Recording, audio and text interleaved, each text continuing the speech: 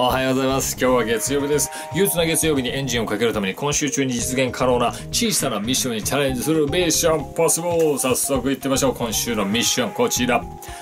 食べるとき、食べることに集中しよう。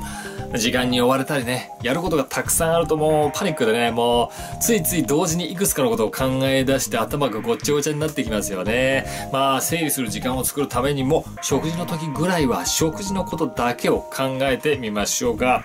味わってゆっくりしたら次のこと一つ一ついいですね。